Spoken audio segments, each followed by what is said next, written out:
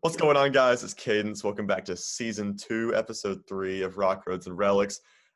Dude, this guest today, okay, he's on the rock and the countryside of Nashville. He's got a solo project. He's the drummer for Josh Gracin, and he's the drummer for the after school special. Like, what doesn't this guy do? My boy, Brian Russell Collins. Thanks for coming on. What's up, man? Thanks for having me. I appreciate it. Of course, dude. So I, I don't even know where to start with you because you've got, you know, 800 different things we could go talk about. I mean, I guess the the first thing is, you know, you you're one of those guys that's able to get on the rock scene and on the country scene in Nashville. You know, what's it like kind of bouncing between two scenes? I mean, you know, when I moved when I moved to Nashville, you know, I had no idea what I was doing. So I was like, man, do I want to stay being a rock drummer? Do I want to be a country drummer? So I kind of had to dive into both worlds. Just to one, you had to learn kind of a little bit of everything. And once I found my niche, it, it kind of started working. So it's been pretty cool, you know. Like the country stuff is really fun because you know that's what is mainly popular around here. Mm-hmm. Um, and then I started doing the uh, after school special show, and that just turned into a a whole animal of itself. So it's been fun, man. You know, I I love the aspect of kind of doing both genres because a lot of people think that Nashville's just country, yeah. but it's it's really not. I mean, it's it's it's becoming a rock town. So it's uh it's fun, man. I've been I've been enjoying it. It's a lot of fun. For sure. And do you see any overlap when you're, you know, going to shows for the country scene or going to shows for the rock scene? Do you see some of the same people coming out? Is there is there anything like that? Yeah, actually a lot, man. Because I mean, if you go to a country concert now, depending on who you're going to see, it's basically like going to a rock show. I mean, it's I mean that's basically what it is. I mean, so with what I do when I'm on the road with uh, doing country stuff, I mean the band that I usually use, we are a straight up rock band. So it's just we get we give everybody everybody a high energy show the whole time because I mean that's what people want. They want to be entertained. They want to they want to you know be in the moment and just have that energy for 90 minutes. And you know that's that's what I love about it. So I mean, and that's one thing I have to say, like how Jason Aldean has really kind of set that bar for a lot of, of bands and a lot of country bands because. I mean, he brought the rock side to country, and that's what I love about it. So that's why I keep it going. Yeah, I was actually about to bring up Aldean because I'm a big Aldean fan and I'm a big Rich Redmond fan. Oh yeah, man, you know, Rich is great. Drummer, oh, he's a beast, you know, and he's like, he could he could go drum in in you know Pantera or or Fall Out Boy or anything and fit right in. But yeah, yeah, yeah, man. Do you ever like have you know conflict of you know trying to schedule stuff for the rock scene or the, the country scene? Like, does stuff ever overlap for you? Um, I haven't had anything overlap yet. I mean, I I started being really responsible now and made a Google Calendar. so um, it, I I kind of space it out really. You know, I look at my schedule and you know what I do with all the stuff I do with the road, and then whatever I'm doing in town, and I I normally schedule it out pretty well. And the guys with After School Special, you know, we're we're all a bunch of buddies, and it's really just a, a, a passion project. So when we're all like able to do it, we sit down with our calendar and like, hey, what what dates can we do, and we just prioritize it different ways. Yeah, yeah, that's really cool. And I like I like how you were talking about, you know, countries really becoming rock and roll's, you know, second cousin or whatever. And yeah. I was gonna say, you know, your album, your solo album that just came out pretty recently, it's you know, it's obviously it's got some country influence, but it's produced like a rock record. Yeah, man. You know, it kind of sounds like a rock record. What was it like, you know, combining those two genres for that album? So, um, when I recorded my my solo album, that has been something that's been in the works for a long, long, long time. And a lot of those songs were written, I mean, shoot, what we're in 2021 now. So, I mean, a lot of those were recorded and written back in 2012. And I was a big, I'm a big emo kid. So I'm, I'm always, I'm always going to be an emo kid. But I started when when I came to Nashville. That's when I started kind of getting used to the whole country scene and what country writing is about. So I, I put a little bit of that influence in there, you know, just to see if it could cross, you know, with genres and stuff. So it, it worked out pretty well. Um, but recording the process and actually hearing those songs come to life was a, a really cool moment. Uh, especially my song "Take Me Back to Carolina" was originally a country song. Yeah, and I wrote that with um, some guys I used to play with before, Lee Gant and Eric Ganis both great musicians. I played with them for a very long time. And we wrote that song and we recorded it as a country song. So there's the original version is out there. Uh, let's well, it's not released yet. Um, that that version's not. Um, and then I talked with the guys. I was like, hey, you know, I'm recording my own solo album. You know, this is a song that's near and dear to my heart because I'm from North Carolina. And I just said, hey, I'm going to put my own spin on it. So I added the country aspect to it, but I threw a little bit of I made it more of a rock song. So yeah, I, I, had to I had to give a little bit of love to both because I always if I write with anybody and if they're depending on what genre they are, I want to make sure that I one do the song justice and two I want to make sure that I'm honoring the people that I wrote it with.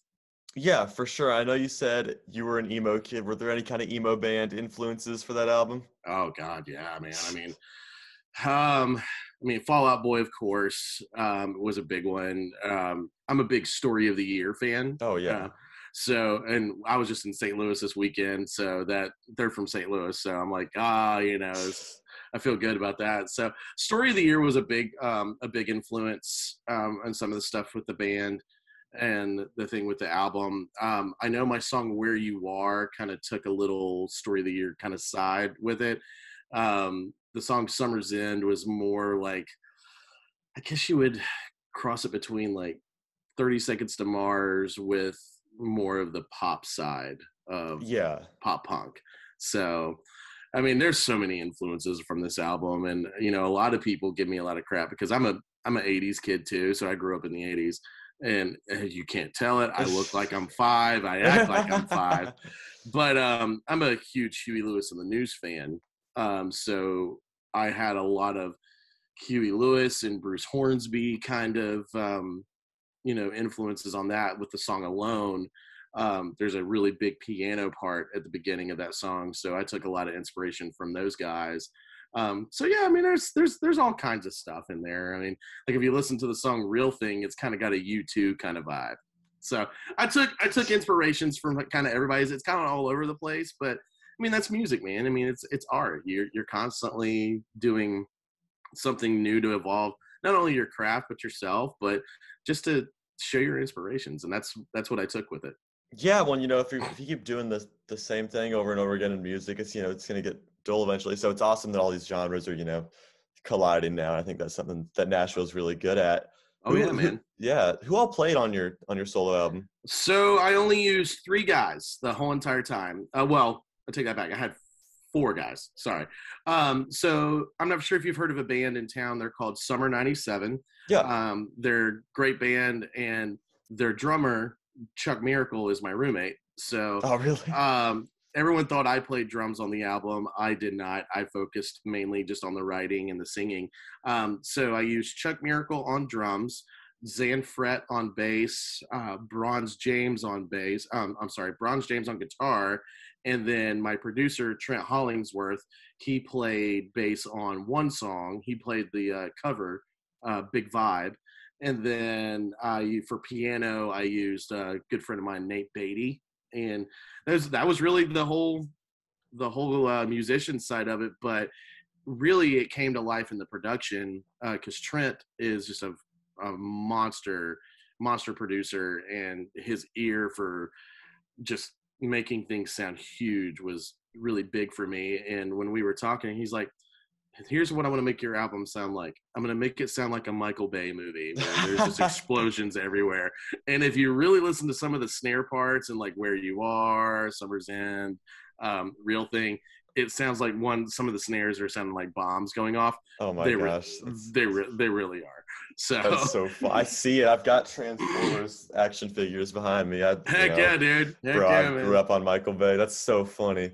So yeah, that was the uh that was the um kind of the idea with Trent. But all the guys that recorded on that album um, were just they're monster guys. Uh, Bronze and Zan are actually my co-writers for Where You Are and okay. it, it was really cool to have those guys on the album and just you know work with the guys that you write with and i'm i'm a i'm i'm i'm very easy but i'm also very picky like with who i use like mm-hmm. when i mm-hmm. do production stuff because you know i'm I, I, want everything loud and big and stuff like that. And those were the guys I felt were the uh, the best guys for the job, and they did a hell of a job. And you know, I'm very proud of the album. I'm proud of what it's done. And unfortunately, I've had to put a little, put it on the back burner for a little bit because I had to focus on you know my my main projects. So, but I, will probably do maybe a small tour with it, maybe yeah. late fall. So we'll we'll see what happens. Yeah, I was gonna ask if you had anything you know coming up, any you know any shows, any new releases with the solo stuff. Well, I'm working on a couple songs. Um, I do have two songs that I'm going to record with Trent. Um, one that I just recently wrote uh, called Ghost, which is going to be a little uh, little heavy. It's going to be sweet, pretty heavy. Sweet. And then I've got kind of like a a sappy kind of love song because I'm a sappy guy. Um, it's called Picture in Your Phone that we're going to record. But right now, um, I actually just picked up a new project, so I've, I've put a lot of time into that, and it's going to be taking up a lot of my time. Uh, yeah. And then with After School Special, that takes up a lot of my time. But you know, it, I'm making music for a living. I can't complain, and I'm very grateful that I get to do what I get to do, especially at my age, and still able to keep making music, man. And it's just a it's a beautiful thing. Yeah, totally, totally. What What would you say?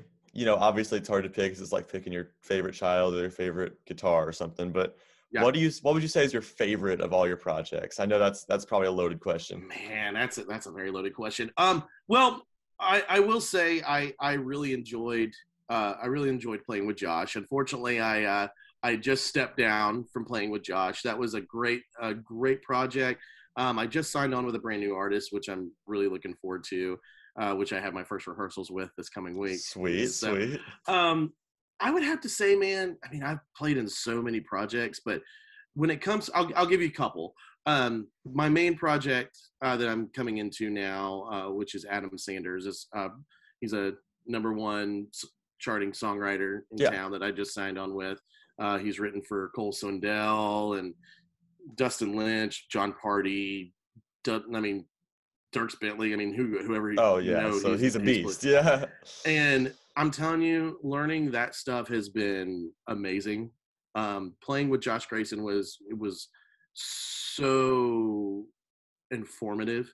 It helped me grow um, on the uh, professional side because you know Josh was a very a very big artist. Uh, came from the American Idol scene. He had a couple number ones under his belt, and it really helped shape me as one as a drummer but also as a band leader and i can carry that to any role that i take from here on out um, so both of those were both of these projects were really great but i would have to say cover project that i've done i would have to say after school special because we get to kind of bounce around with everything man because it's we do 80s 90s 2000s mm-hmm. rock mm-hmm. and it's just so much fun and you know you get to do it with buddies that one that are we all just get each other and we love to be stupid on stage and you know and it's not about the money it's just about having fun and really i mean music i mean yes we all want to make money we all want to be there but at the end of the day it's all about making art and yeah and just having fun and just seeing the smiles on people's faces man that's that's what it is for me it has nothing to do with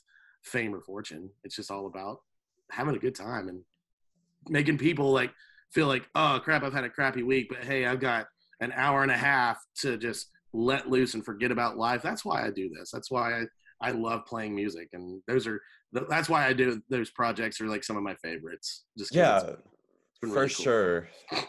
And that's when I talked to you after that writers round at, at, you know Tin Roof like two months ago or whenever that yeah. was. That was definitely the vibe I got. You know, because so many people in this industry are you know kind of you know put themselves on a, a, pedestal or whatever but you know you're just you're so easy to talk to Thanks, so down to earth about your stuff so it's you know it's awesome you know it's it's not every day you meet someone who drums for these famous country guys and you know has a title drum sponsorship and you know everything like that and it's just so chill so that's really cool you know it's it's impressive I'm a, I'm a, I'm a human being just like everybody yeah. else man you know yeah at the end of the day i mean yeah i mean i get it that when we get when you start kind of climbing that ladder of of starting from the bottom and then you kind of start going higher and higher and higher. Yeah, I mean, things can change a little bit. I mean, egos can get involved. I'm not going to lie. I do have an ego. I'm not to lie. But, you know, it's all about keeping it in check and it's all about just staying humble. If you stay humble and and I think with me, when it comes to like being in Nashville, and especially with newer guys, it's like I want to be the guy like you can always approach because uh, yeah. I don't I don't want to be very standoffish or anything. That's not who I who I am and who I who I uh, perceive myself to be because I always want to make sure if there's new guys coming into town and they need help, I want to be that guy that you can call and just be like, man, this guy does this stuff, but man, he helped me get here, and that's that's what it's all about for me. It's just all about being humble and helping everybody out. Yeah, yeah, man. I guess I'll finish up with saying like you know the next year, obviously concerts are back, you know, full swing. Things are looking good. Where where do you want to see yourself, you know, in 2022? What's what's the next step? Man, I I I know for me, I want to see me being on the road, of course, and just playing bigger shows and just seeing the bigger crowds and just seeing everybody just smile and singing along and just getting back to that that life that we all saw back in 2019 where we all just enjoyed just going to shows and having a good time really. I mean and one just not having to worry about being cooped up in a house so. yeah for sure for sure. Guys brian russell collins stream the solo album catch him around town in nashville catch him on tour. This guy's the best. Thank you so much man. Yeah man thanks for having me. I appreciate it